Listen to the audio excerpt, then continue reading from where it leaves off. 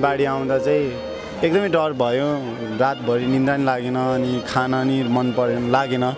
अनि एकदम रातभरि आवाज यति ठुलो आएको थियो कि एकदम ब्लास्टिङहरू जस्तो आएको थियो। रातभरि सुत्न नि सकेन अनि कहिले उज्यालो हुन्छ र भन्ने लाग्थ्यो। जुन दिन जुन रातभरि जुन बाढी आयो अघिल्लो दिन कति सुन्दर मेरो मेलम्ची भोलिपल्ट हेर्दाखेरि एकदम सुनसान घाट भइसकेको एकदम दुःख लाग्यो रोएँ कराएँ चिचाएँ यहाँ एकदमै हाम्रो भेगमा त ठिकै भयो लगभग माथि केही भएन।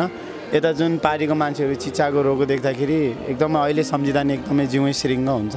रातभरि निन्द्रा पनि छैन एकदम यस्तो मैले भने मेरो लाइफमा मैले कहिले पनि देखिनँ यस्तो अनि यो यो ठाउँ हेर्दा कतिको रुन मन लाग्दो रहेछ सुजन? अब त्यही त हो नि आफू जन्मेको ठाउँ जस्तै भए नि प्यारो लाग्दो रहेछ तर जुन पहिलाको दृश्य सम्झिन्छु त्यो दृश्यमै रह्यो। अनि अहिलेको जुन दृश्य देख्छु एकदमै हुन्छ नि गाउँ म मात्रै नरहेर गाउँको बुढाबुढी दाजुबहिनी दिदी सबैजना पीडामा छ होइन? कति धेरै झगडा पनि भयो अरे होइन? अघि भर्खर मैले एकजना दिदीसँग बुझेको यहाँ चाहिँ एकदमै हानाहानको अवस्था पनि आयो रे। त्यही राहतकै लागि यस्तो धेरै त नगरौँ न है? अब त्यसै त यस्तो घाउ चर्चराइरहेको छ त्यसैमा फेरि किन राजनीति गर्ने हो र राजनीतिक नभएको ठाउँ चाहिँ कहाँ छ कि त्यहाँ चाहिँ जान मन लाग्यो खास गरी आज दिउँसो त्यो जुन घटना भयो भन्नुभयो एकदम दुःख लागेको छ। सकेसम्म कसैले पनि यस्तो बेलामा राजनीतिक नगरौँ जो पीडित छ उसैलाई अगाडि सारौँ होइन? जल सबैले कि एउटाले मात्रै होइन?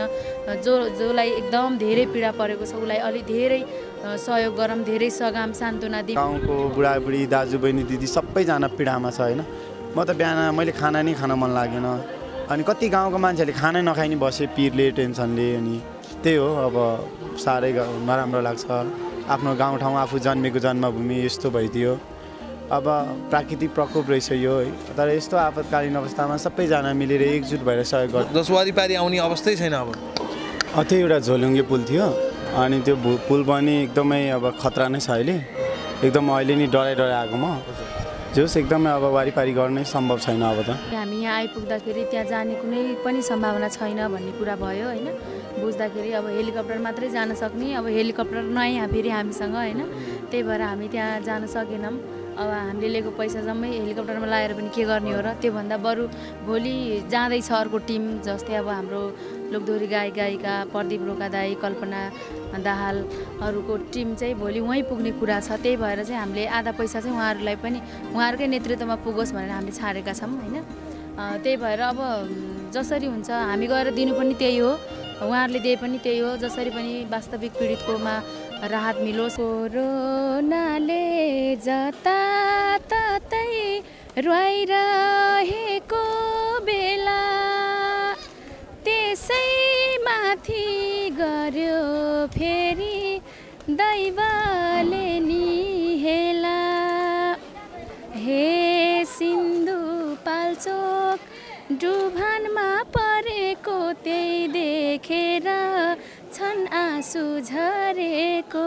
हे बचाइदिनुहोस् मेरो प्रभु लौन एकै जुनी धुरो धुरो रोइरहेछ मेरो जन्मभूमि। સર્ફર ઘર ઘરમાં ફાઈબર ઇન્ટરનેટ અને TV service contact 015970222 for more details visit www.websurfer.com.mp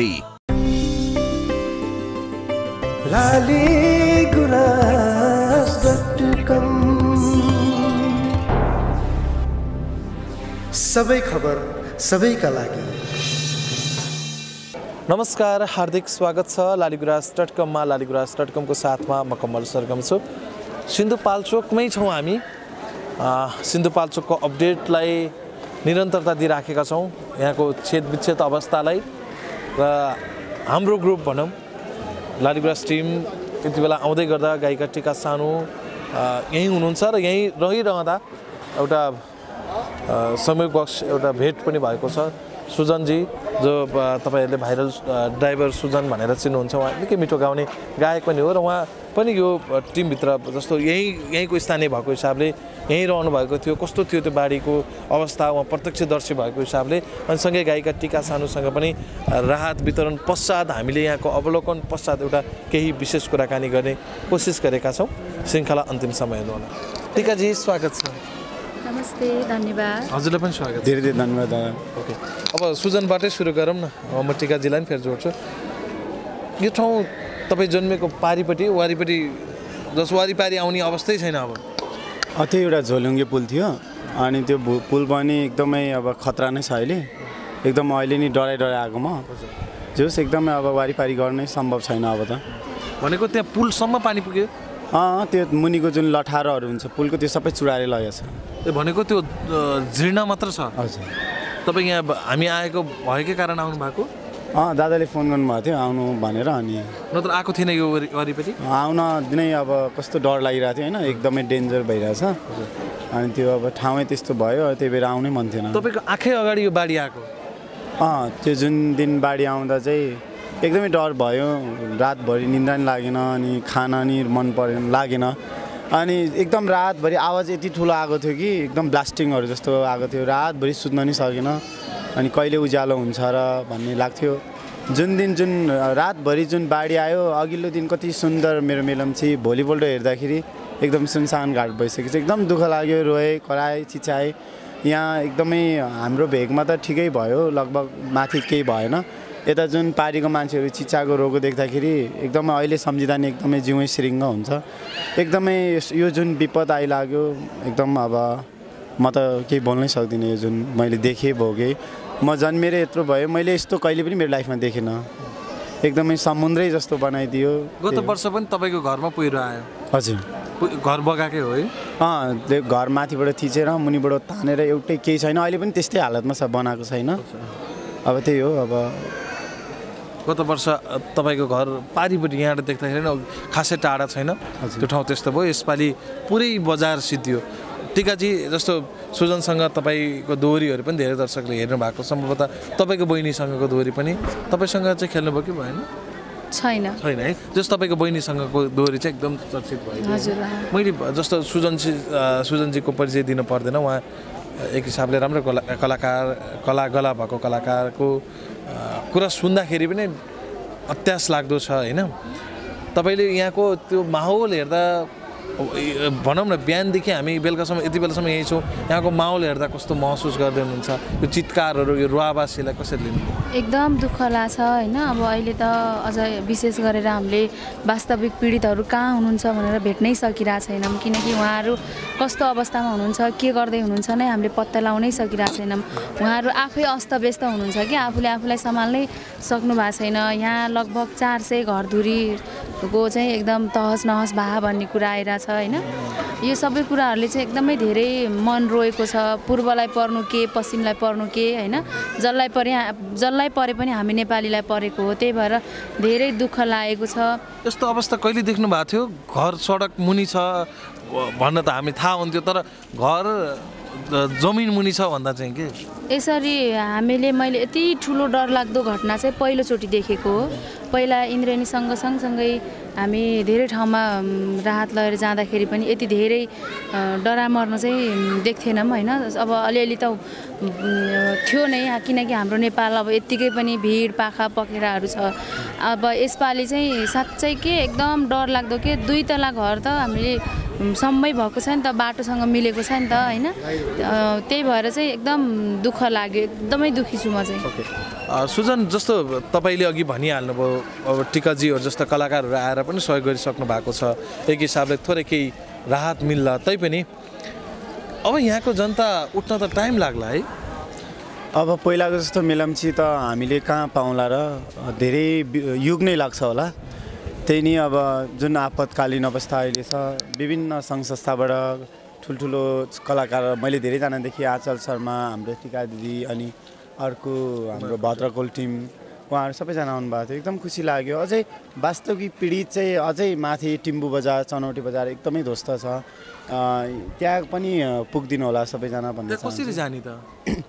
अहिले त्यो बिहान चाहिँ बाटो बन्द थियो अहिले चाहिँ खुलेको छ। अरे लगभग अहिले बा जाने एउटा बाटो चाहिँ छ। अहिले त्यहाँ अघि बाटो खोला खोल्दै थियो। अब जान सकिन्छ। अझै त्यहाँको बारेमा सुने जति सुने जति बुझेँ त्यहाँ एकदमै तहस नहस मान्छेहरू मकैबारीमा नउठ्ने नउछ्याउने नखाने त्यस्तो हालतमा बसिरहेछ अरे। कतिको घाउचोट भएर त्यतिको बसिरहेछ अरे। सम्बन्धित ठाउँमा पुगिदिनु होला जस्तो सबैजना हेलिकप्टरहरू आइरहेछ चार्टर गरेर लाने उपचार गर्ने गरेको छैन? खोइ अब त्यो के गरिरहेछ? आउन त धेरै हेलिकप्टर आइरहेछ घुमेको घुमेछ होइन? तर जति पनि मान्छेहरूको मुखबाट सुन्दाखेरि चाहिँ अब खोइ नपुगेको कि सम्बन्धित ठाउँमा अझै एकचोटि कुना काप्चा ध्यान दिएर हेरिदिनु होला भन्न चाहन्छु। ओके। टिकाजी जस्तो उहाँले भने जस्तै हामी जुन ठाउँमा छौँ त्यो अझै विपद होइन भन्नुहुन्छ सुजनजीले। योभन्दा पनि धेरै विपद अझै माथि छ भन्नुहुन्छ। अँ त नि हामी खास गरी त्यहीँ जाने टार्गेट गरेर आएको हो। तर अघि हामी यहाँ आइपुग्दाखेरि त्यहाँ जाने कुनै पनि सम्भावना छैन भन्ने कुरा भयो होइन? बुझ्दाखेरि अब हेलिकप्टर मात्रै जान सक्ने अब हेलिकप्टर नआइ फेरि हामीसँग होइन? त्यही भएर हामी त्यहाँ जान सकेनौँ। अब हामीले लिएको पैसा जम्मै हेलिकप्टरमा लगाएर पनि के गर्ने हो र त्योभन्दा बरु भोलि जाँदैछ अर्को टिम जस्तै अब हाम्रो लोकदोहोरी गायक गायिका प्रदीप रोका दाई कल्पना दाहालहरूको टिम चाहिँ भोलि वहीँ पुग्ने कुरा छ। त्यही भएर चाहिँ हामीले आधा पैसा चाहिँ उहाँहरूलाई पनि उहाँहरूकै नेतृत्वमा पुगोस् भनेर हामीले छाडेका छौँ होइन? त्यही भएर अब जसरी हुन्छ हामी गएर दिनु पनि त्यही हो। उहाँहरूले दिए पनि त्यही हो। जसरी पनि वास्तविक पीडितकोमा राहत मिलोस् र आज मात्रै यहाँनिर दिउँसो कति धेरै झगडा पनि भयो अरे होइन? अघि भर्खर मैले एकजना दिदीसँग बुझेको यहाँ चाहिँ एकदमै हानाहानको अवस्था पनि आयो अरे त्यही राहतकै लागि यस्तो धेरै त नगरौँ न है।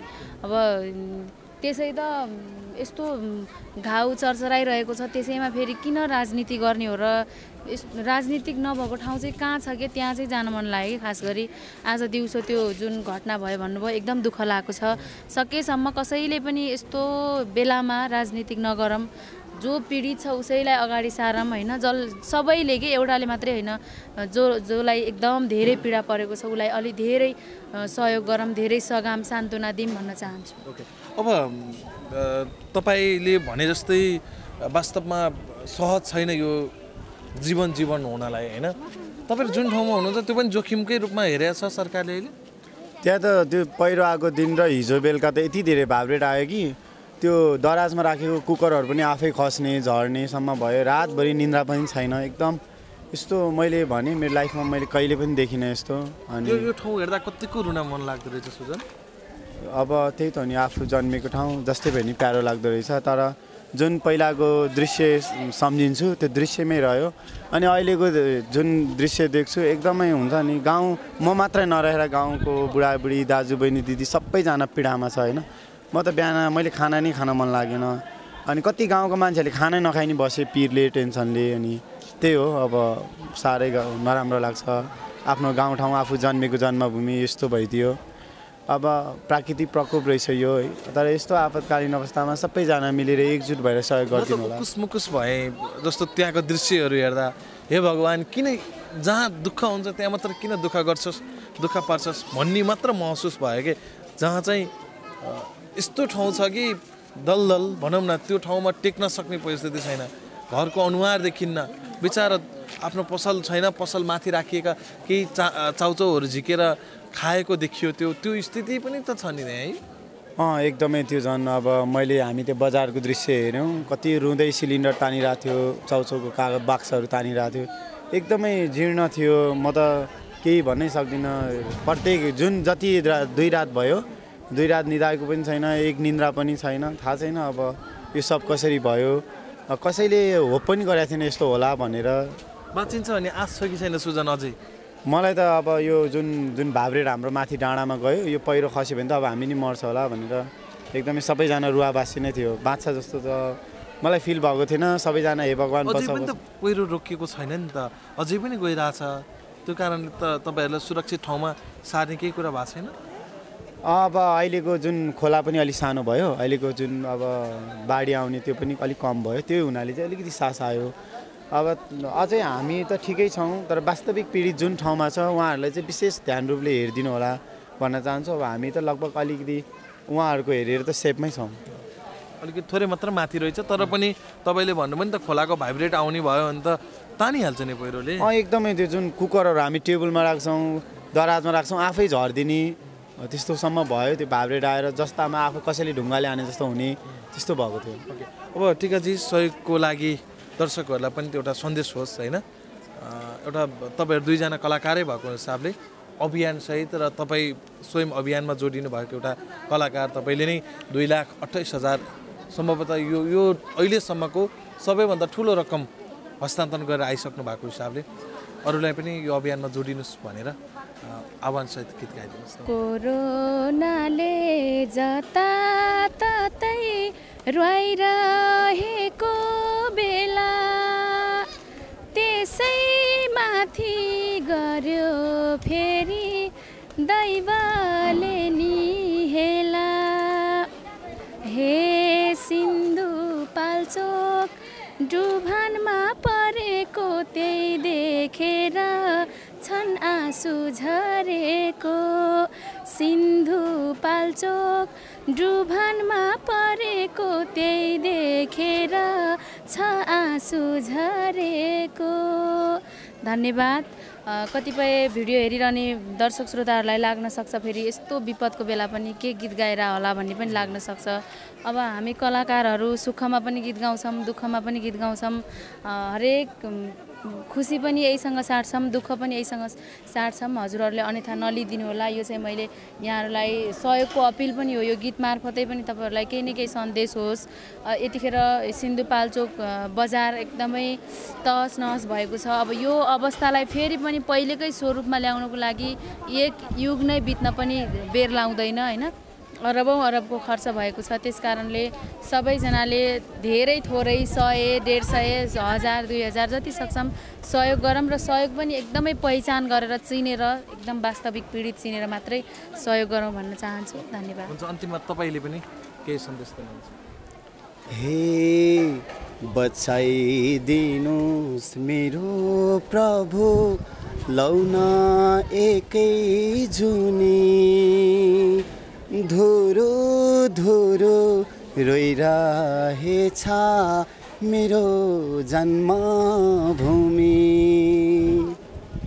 बाढी पहिरो उठायो घाँस र बाँस लाउन दैवा देमालाई थोरै सास। हस् thank you okay thank you so much टिकाजी र सङ्गीत सुजनजी हस् धन्यवाद। धन्यवाद।